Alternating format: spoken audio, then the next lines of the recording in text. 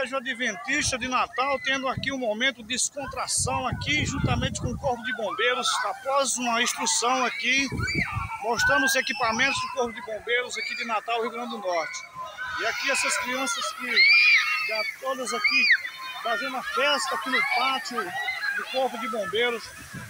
Coisa linda, essas crianças do, da escola Adventista de Natal, juntamente com a diretora aqui, doutora Fernanda. Fernanda, que aqui é a, ela é representante da escola como diretora. E aqui a confraternização dessas crianças aqui, fazendo essa interação, esse momento de alegria do pátio do Corpo de Bombeiros. Momento muito feliz, concentração e essa felicidade, mostrar à população brasileira, mostrar à população que o Corpo de Bombeiros também é amigo da população. Fazendo essa interação com os clientes aqui, juntamente, olha só, o banho muito gostoso aqui nesse momento.